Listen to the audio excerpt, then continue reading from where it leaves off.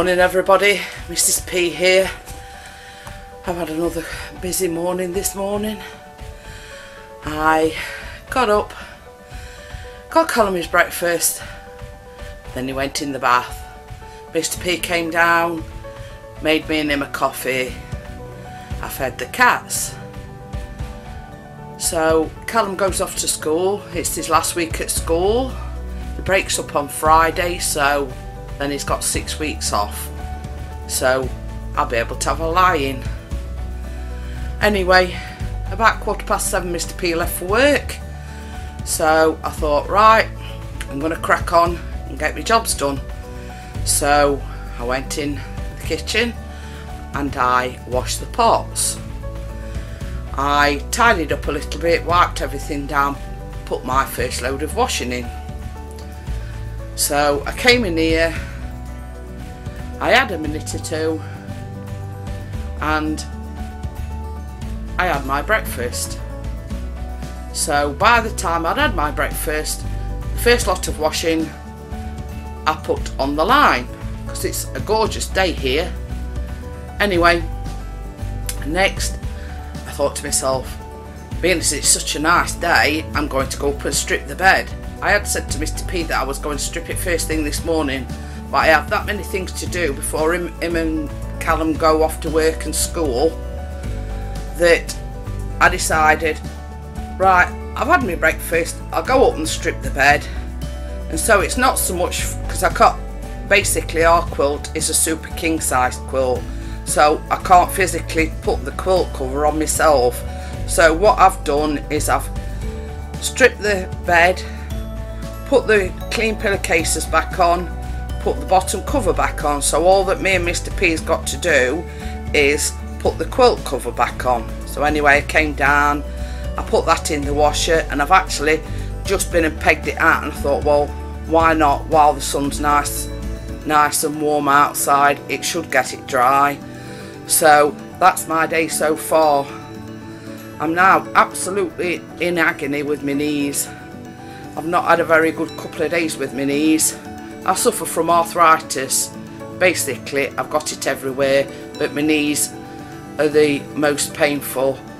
I've had to ring the doctors because I forgot to put my prescription in on Friday. So I've had to ring them as a matter of urgency and said, is there any chance that you can get my prescription done today? so she's basically put it down as urgent because there's two things on my prescription one of them being my pain medication and the other being my thyroxine. So they're the two that I've got absolutely none of them left at all. Only for the receptionist to moan at me and she says oh it's actually due today. And I says well by the time I'd re realised on Friday it was too late because at our doctors you can only ring between 10 and 11 to order a, a, a repeat prescription. So by the time I'd realised on Friday it was too late. I suppose I could have phoned up on the off chance that they could have done it me, but I thought, well, I'll ring first thing this morning. So anyway, they're going to try and get that done for me and I've got to give them a ring back later on. Talking of doctors, when I went to the doctors for my blood test, everything's come back a-okay. My blood pressure was fine, so I haven't got to have any more blood tests till October. So she says basically, I'll put a tick that I've reviewed your medication that you're taking.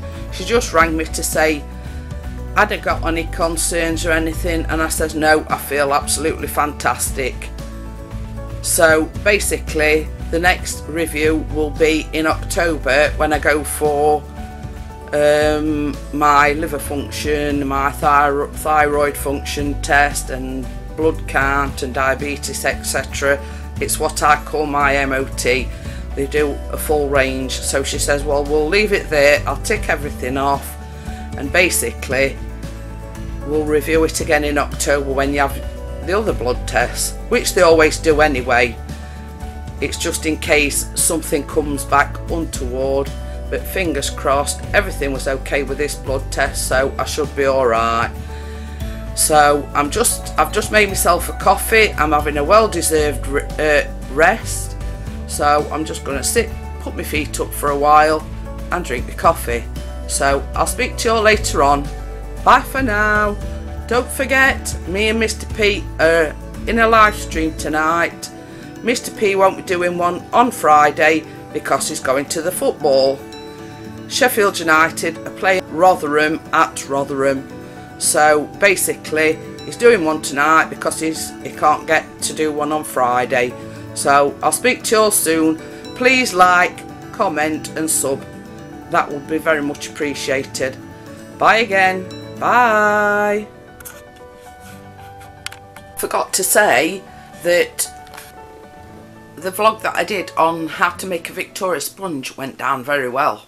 So I'm hoping to get another one done this week and I've got two recipes in mind either lemon drizzle cake or shortbread biscuits. Now I'd like you to comment on which you think I ought to make lemon drizzle or shortbread. Now if you want to leave a comment which you would like to see me making whatever the whatever the most comments want me to make I will make that. And I will get Mr P to film me do it uh, making making whichever it is either lemon drizzle or shortbread and um, we'll see what happens. So please comment either lemon drizzle or shortbread whichever gets the most votes I will be vlogging anyway speak to you soon. Bye. Popping bottles